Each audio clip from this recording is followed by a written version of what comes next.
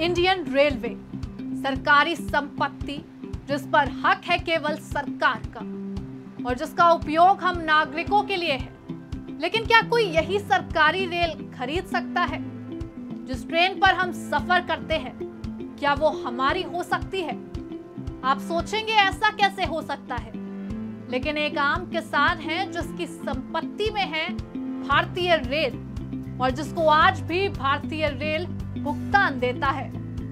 किस्मत का पहिया वाकई कब किस दिशा में घूम जाए, कोई नहीं सोच सकता।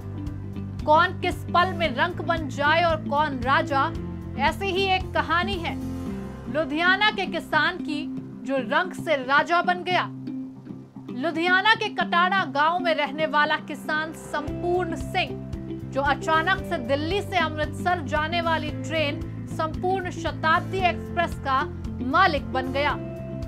दरअसल, साल 2007 में जब लुधियाना चंडीगढ़ रेल लाइन का निर्माण कार्य चल रहा था तो इस दौरान रेलवे ने किसानों की ज़मीन का अधिग्रहण किया था और उस वक्त ज़मीन को 25 लाख रुपए प्रति एकड़ में अधिग्रहित किया गया था।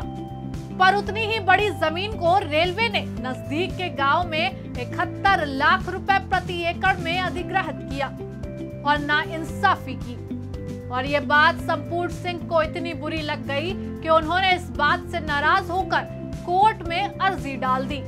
और कोर्ट ने किसान को मुआवजा देने को कहा, जिसके बाद कोर्ट ने पहले आदेश में मुआवजे की रकम 25 लाख दी, फिर 25 लाख से बढ़ाकर 50 लाख कर दी थी।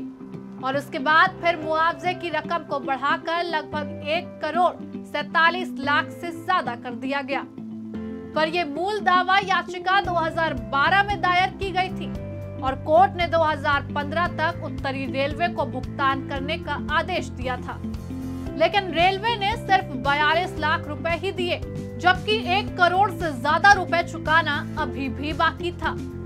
और जब रेलवे ने किसान के रुपए नहीं चुकाए तो साल 2017 में फिर एक बार नया आदेश दिया गया।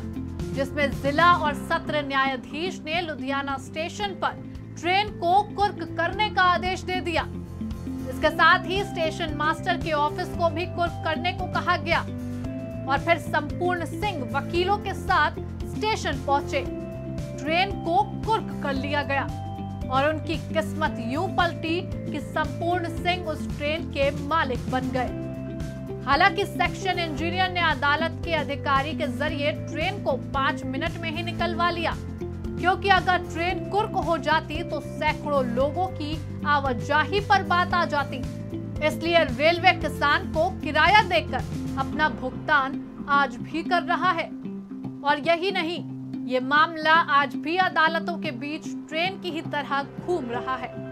इस तरह एक मामूली किसान ने भारतीय रेलवे को अपनी उंगली पर नचा डाला और रेलवे की एक भूल ने किसान को रातों रात धन्ना सेठ की गद्दी पर बिठा डाला।